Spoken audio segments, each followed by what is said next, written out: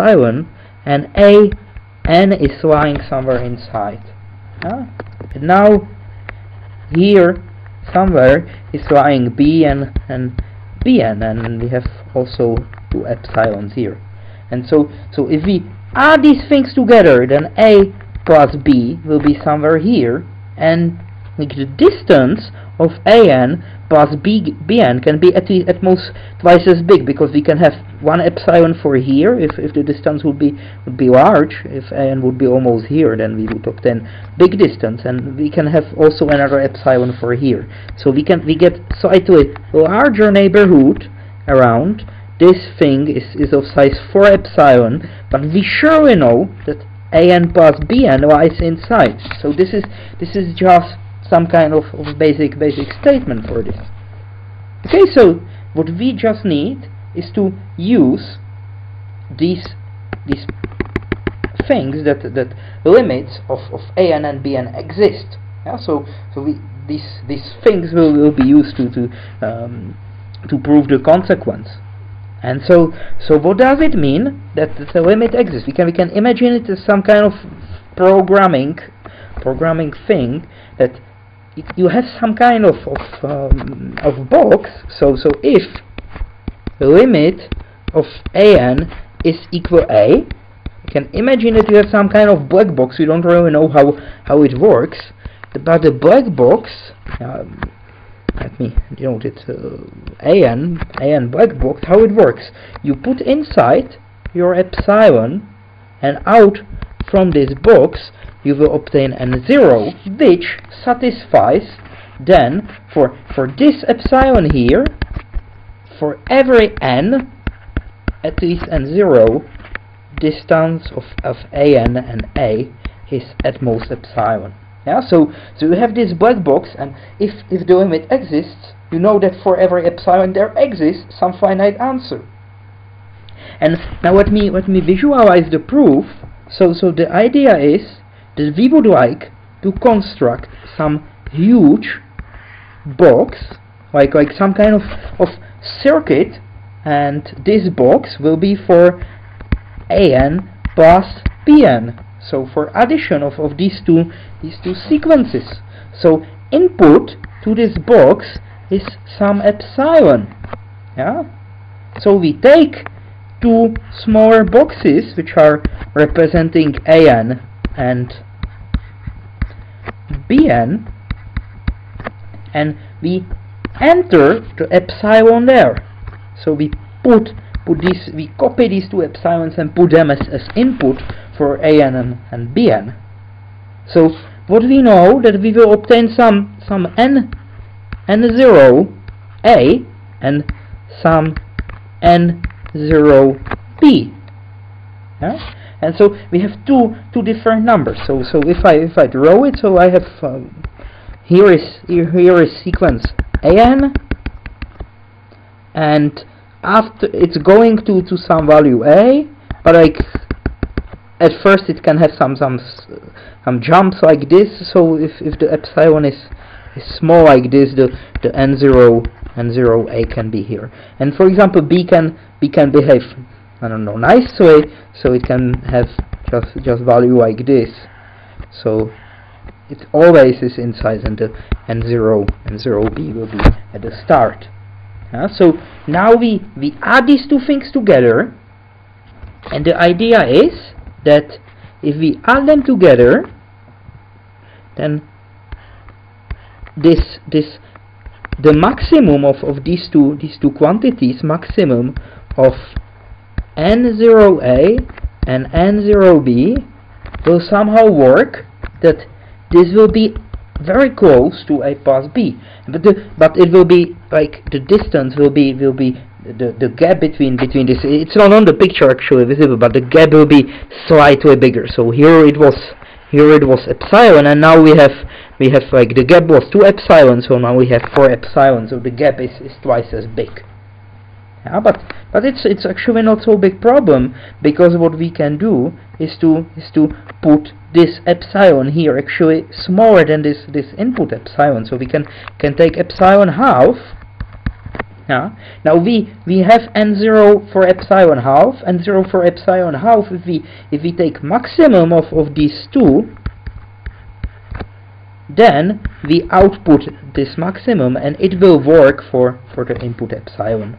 So uh, if you just take this take this uh, this picture proof and and you just just verify that, that everything is satisfied. You can can write it down formally and it, it will always work. But but this is the idea hidden hidden behind it.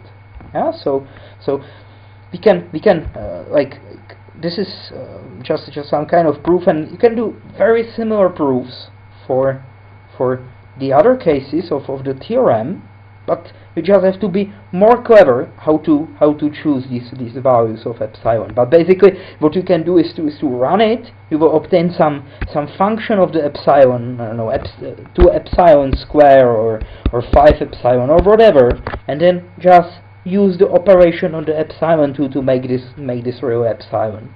Yeah. So so in this case, we obtained two epsilons when epsilon would put here. So we just we just uh, input half of it to, to have the have the correct statement. But but it's just some kind of very very simple formal formal reasoning. Okay, so so this is this is the arithmetic of, of the of the sequence of the of the um, limits. So why why does it imply imply that that thing? Uh, yeah, maybe maybe one more one more point to that thing. This this is only implication. If these two things do not exist, we cannot say anything about about uh, this sum. And also what's important its implication meaning from one side only. It does not work in the opposite way okay? So you cannot do that you're working on some some task and you have here two things so addition of, of two, two things so so you will split them to to two limits now you calculate one of these quantity and obtain okay it does not exist. So so everything is wrong and this thing does not exist too. No it it just means that you don't know anything. The point can be that this thing exists but this splitting here was incorrect. So you haven't haven't um, received any any anything interesting yeah so so uh, these these things uh, sometimes you can have even even like like infinities here but you have to be really really careful about what you're calculating with. Yeah so so for example mm, let me return to to that uh, to that task. It was um, n squared plus 2n over n third plus, uh, 5 I think. Or something like that. It doesn't really matter. So what we cannot do here is to is to split it like this. Now this is easy. This is infinity over infinity. But we don't know what, what, what is this number. We just know that this function is going to infinity, this sequence is going to infinity, and this one is going to infinity, but we want to compare them, how fast they are going there. We don't receive any, any answer from this, so, so this is this is completely wrong thing. We cannot approach it like this, but, but what we can do is to, is to slightly, slightly modify, modify the function. So for example, what we can do is to, is to put and and squared and um, and and put put this this nominator here to uh, to parentheses. So so I can like like put n square out of out of it so out of the nominator. So what I will have here is 1 plus 2 over over n. Yeah? And I can do similar thing with the denominator. I can put n square out of the denominator. Yeah? So I will have n squared plus n fourth uh, sorry n, n, n squared again plus 5 over n squared. Think like this. Now these two things reduce each other. So so what, what I have is something much simpler. Huh?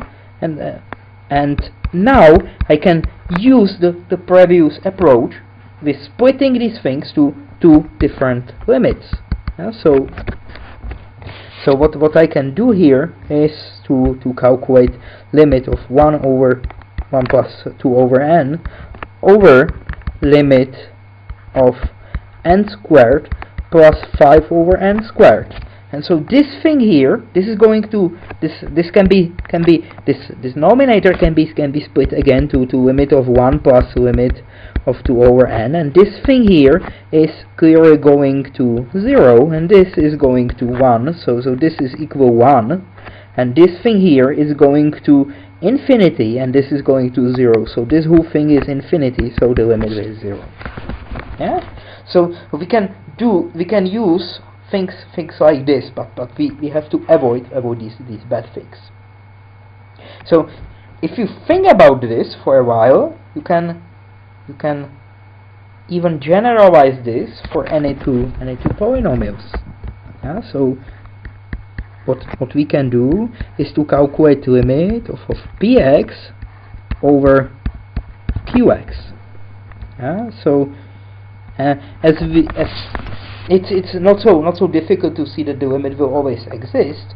And what we will care about are only the the largest largest terms in, in each polynomial yeah, so so let px is equal an to qn plus something and let qx is equal bm to xm plus plus something here. Yeah, so we don't really care what what what things are here about. So so this will be this will be our our theorem. So be limit of of px over qx theorem limit of of uh, of fraction of, of two polynomials. Yeah, so so for um, yeah maybe maybe I should I should uh, for x x is going to going to infinity. Yeah, so so something something like this. So what what we can do is to just take a look at, at these two things. And so we will we will obtain we will obtain the following characterization that this limit can be either 0 or some constant which which I write in in a second so so so let's write const or it can be plus or minus infinity which also will depend on the, on the value of the constant. So, so what does it mean zero? Zero means that q is much faster than p. Yes. So uh, if if these if these terms would be would be exactly the same, the, the n would be equal m, then then they would be growing growing of, of similar similarly fast. But uh, if q is growing faster, it means that m is larger than n. Yeah.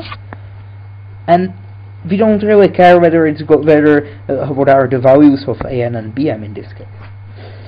It can go to to uh, plus or minus infinity, meaning that pq is going px is going much faster to infinity than qx. Yeah, so um, so in this case, what we know is that m is, is more than n, and then the value is is an over bn bm times the infinity. Yeah? So it depends on, on these on these constants, but only only whether whether they are positive or, or negative. Yeah? So and the, the last case is that it that these these things are exactly exactly the same, and in such a case we are going to to constant which is equal an over bn. Yeah? In the case m equal and so so this is this is the the theorem we would like to we would like to prove here. Okay. And so uh, and the the proof is actually exactly the same as as before. We are just going to to this to to put these these terms out of out of the denominator and denominator then cancel them and and then uh, then just take take the rest. So so let me let me show you the first two cases and you can you can think think about about the, the last case. So so first thing what we do we take uh, we take minimum of uh, okay. We are uh, okay so so for the uh, let's okay uh, proof proof of, of this thing is is okay. So let, let me denote this this case number one so for the case number one, what what we know is that the, the denominator is much bigger. So what we are going to do is we have limit